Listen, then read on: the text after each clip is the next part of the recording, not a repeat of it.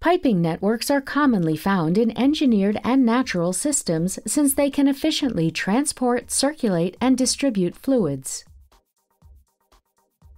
The water that comes out of the tap at your home travels through a complex city water supply system, which is an excellent example of an engineered piping network. As fluid circulates through a piping network, it encounters frictional resistance from the channel walls and fittings, and the fluid stream loses pressure as it overcomes these flow resistances. Characterizing and understanding these pressure losses is necessary to specify the correct components and sizes in a new design, or to diagnose problems in an existing system. In this video, we will illustrate a simple approach for measuring the pressure drop within a pipe network and discuss some standard models for predicting losses in a few common geometries.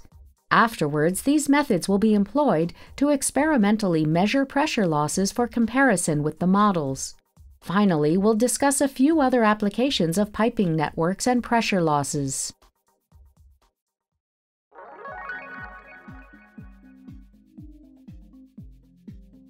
Anytime a fluid flows through a closed channel, it encounters some frictional resistance from the channel walls. As a consequence, a fraction of the fluid's mechanical energy is converted to heat, resulting in a continuous loss of pressure in the direction of flow. This pressure loss can be characterized in a given system by measuring the fluid pressure at discrete points along the channel, which is often done using simple liquid level devices called manometers. A manometer is an open vertical or inclined section of tube connected to the piping channel so that it partially fills with liquid. The height of the liquid column is directly proportional to the fluid pressure at that point along the channel. Therefore, the difference in pressure between two points, or delta P, can be determined from the change in liquid height, or delta H, between two manometers. Unfortunately, it is not always practical to make direct measurements, and pressure losses must often be predicted before a system is built to ensure adequate fluid flow rates. In these situations, the Darcy friction factor formula can be used to predict frictional pressure loss.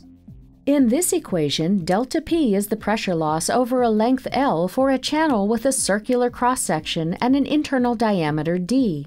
Rho is the fluid density, and U is the average flow velocity, defined as the volume flow rate divided by the cross-sectional area of the channel.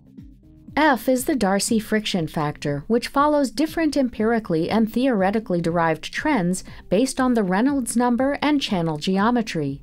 Refer to the text for the models used for straight circular channels and helical coils. The various channel sections in a pipe network are connected by discrete fittings, such as valves, expanders, and bends, that also contribute to pressure loss. The pressure losses through these fittings are known as minor losses and are sometimes reported in terms of the equivalent length of a straight channel required to yield the same pressure drop. These losses are still modeled with the Darcy friction factor formula using the friction factor and flow velocity of the connecting channels and the tabulated value of equivalent length scaled by the inner diameter for the fitting. Total losses in the piping system are simply the summation of all the losses from individual sections and fittings. In the following section, we will measure these losses in different representative pipe configurations to determine the friction factors and equivalent lengths.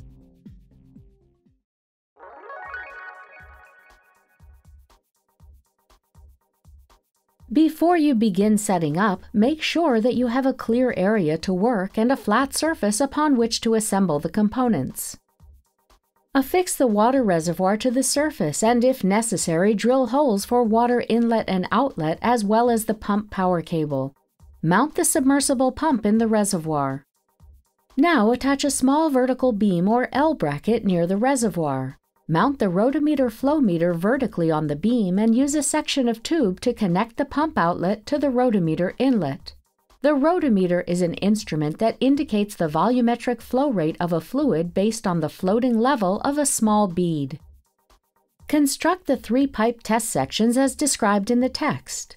When you are finished, you should have a straight section, a coiled section, and a section with multiple elbow bends.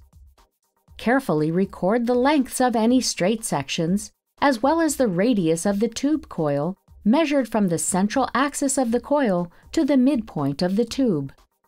Mount all three sections to the surface with pipe clamps. Adjust the T-fittings on the ends so that the branching side ports point up, and then install clear rigid tubes on these ports to form the manometers. Use a level to ensure that the manometer tubes are vertical. Finally, connect one section of the tube to the outlet of the rotameter and place a second tube returning to the reservoir. These two tubes will connect to the inputs and outputs of the test sections to form a complete loop during the experiment. Fill the reservoir with water and the preparation is complete.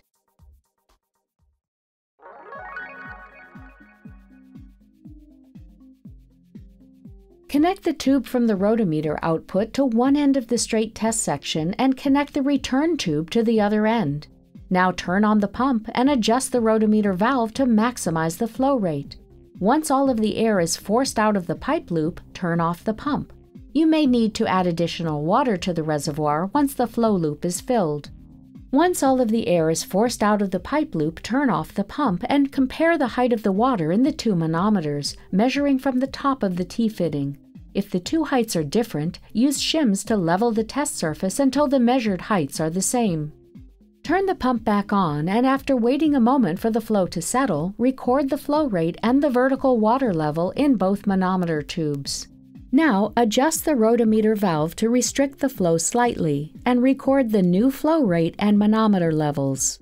Repeat this procedure to gather data at 6 or 7 flow rates for the straight test section. When you finish, repeat the experiment with the other two test sections, including a readjustment of the test surface for each new section if necessary.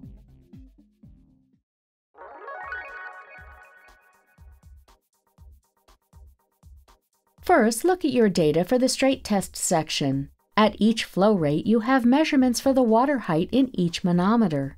Use the difference in manometer heights to determine the total pressure drop in the test section. Then determine the average flow velocity in the tube by dividing the flow rate measured from the rotameter by the cross-sectional area of the tube. Next, calculate the Reynolds number for the flow at this flow rate. Combine your results with the Darcy friction factor formula and your measurements of the test section to solve for the friction factor. For a straight section of length 284 millimeters and inner diameter of 6.4 millimeters, the measured flow rates from 3 quarters to 2 liters per minute correspond to turbulent conditions. Propagate uncertainties to determine the total uncertainty in the Reynolds number and the friction factor as described in the text, and then plot the result along with the model prediction for a straight section. Within experimental uncertainty, the friction factors match the prediction of the model. The relatively high uncertainty in the friction factor at low flow rates is due to the limited accuracy of the flow meter. Now look at your data for the coiled test section. As before, determine the total pressure drop, average flow velocity, and Reynolds number at each flow rate. The total pressure drop in this section is the sum of the drop from the straight portion and the coiled portion. So use the Darcy friction factor formula and the straight channel model to estimate the contribution from the straight section and subtract this from the total. Use the remaining pressure drop and your measurement of the coil radius to determine the friction factor in the coiled portion. Propagate uncertainties for the Reynolds number and friction factor once again, assuming negligible uncertainty from the correction for the straight section. Plot these results along with the model prediction for a coiled section. The Reynolds number is between 1,700 and 5,200, which corresponds to Dean numbers between 500 and 1,600, with the given tube diameter and coil radius. These values are within the laminar portion of the coil friction factor formula. These measured friction factors also match the model within experimental uncertainty, and for a given flow rate are significantly higher than those found in the straight section. This increase is due to the stabilizing effect of the coiled tube geometry, which delays the transition to turbulent flow to higher Reynolds numbers, about 9,900 for this geometry. Now take a look at the data for the third test section. Once again, determine the total pressure drop, average flow velocity, and Reynolds number at each flow rate. The total pressure drop in this section is due to the sum of the straight sections and minor losses from each of the N elbows. Use the Darcy friction factor formula and the straight channel model again to estimate and subtract the contribution from the straight sections. The remaining pressure drop is due to the N elbow fittings in the test section. Use this pressure drop with the friction factor and diameter of the straight sections to calculate the equivalent length for an individual elbow fitting. Propagate uncertainties for the Reynolds number and the equivalent length and plot your results. As the Reynolds number increases, the ratio of the equivalent length to internal pipe diameter approaches 30, as expected from the tabulated values. Note that the actual frictional resistance is specific to the fitting geometry, and so these tabulated values should only be considered as guidelines. Now that you are more familiar with pipe networks and pressure losses, let's look at some real-world applications of these concepts. Heat exchangers typically consist of two separate piping networks that bring a hot and cold fluid in close thermal contact without allowing them to mix. Pressure drop analyses must be performed when designing heat exchangers to ensure that the pumps can provide sufficient fluid flow rates and achieve the desired rate of heat transfer. Plaque buildup in arteries reduces the effective diameter for blood to flow. As a result, the heart has to work harder to compensate for the additional pressure loss. In extreme cases, the buildup increases the risk of a total blockage of the artery or heart failure. During an angioplasty procedure, a stent is inserted to re expand the artery and restore normal blood flow.